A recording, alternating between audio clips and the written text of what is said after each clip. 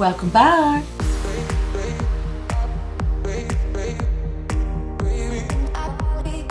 Hi and welcome back to Polymer Clay channel. So today I'm going to show you how to do a really cool decoration on a little tin that I found online. So I bought it a little while ago and I thought, oh yeah, I'll, I'll make something out of that at some point. And I found it the other day and I thought, you know what, I have to do a video on this. So I found a design I really liked and I thought I would give it a go. So this one involves those little glass stone things. Um, I don't really know what they're called, but I absolutely love them and I found a way to use some of them that I had from a project before. So without further ado, here we go.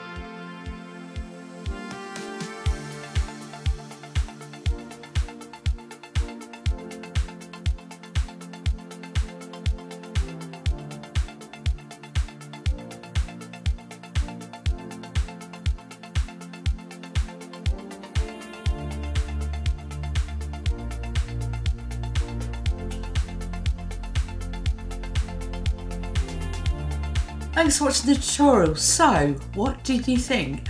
I actually had a lot of fun and it's the first time that I've actually covered something and not took it all off and put it back on, took it all off.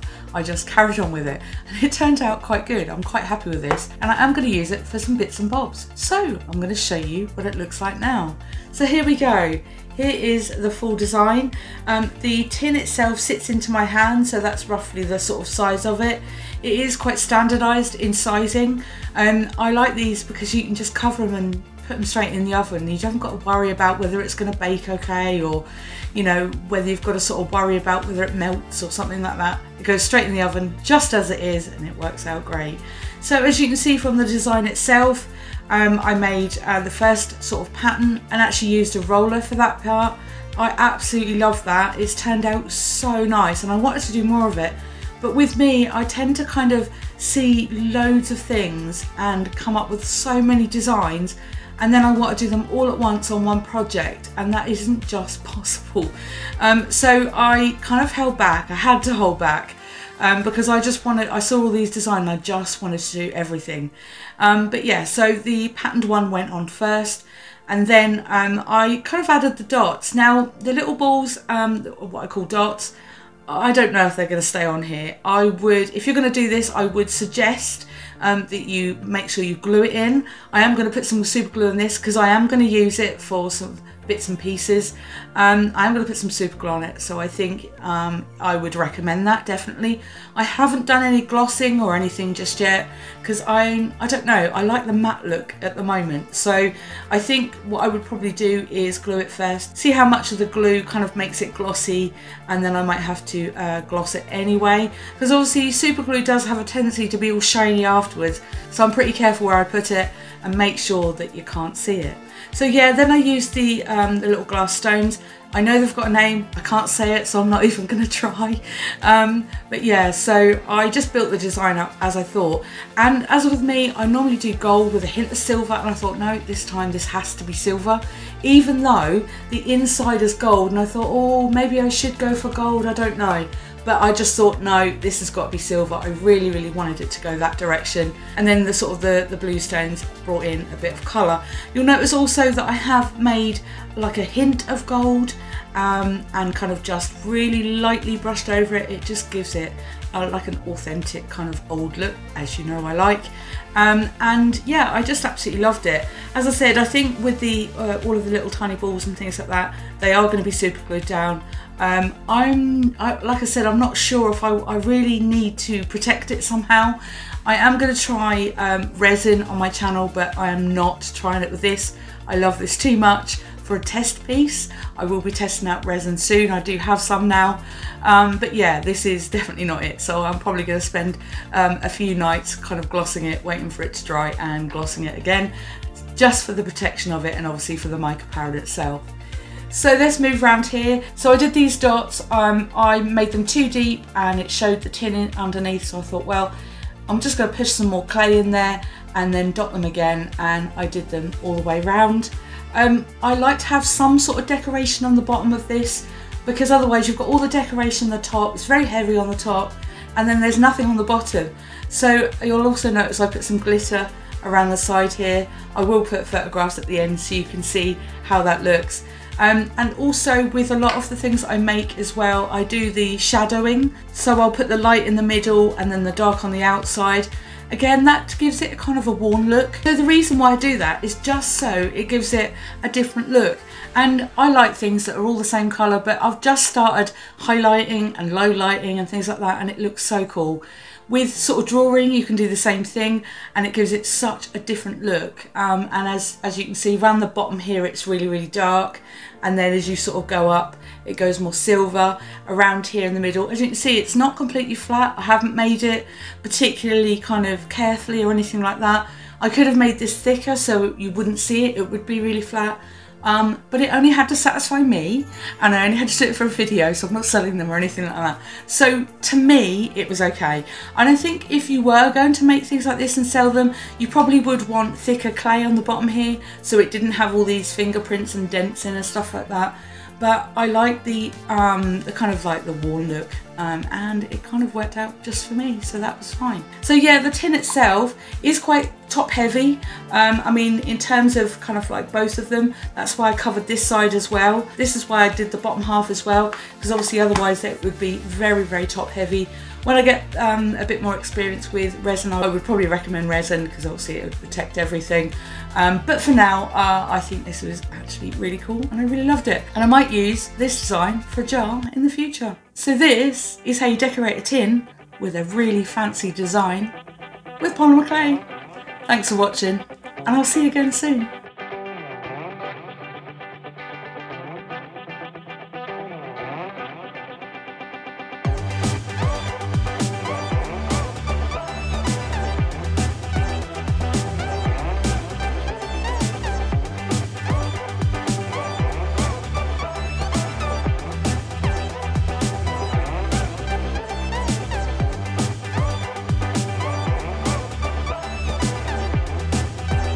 So let's move around here. So I did these dots. I, I, I'm going to sit a closer. And I am going to use it for my bits and bobs. And I am going to use it for some bits and bobs for when I just don't... And I am going to use it for some bits and bobs. Because I am going to use it for some bits and pieces. Thanks for watching. Mono dry. Cheers. Bye-bye.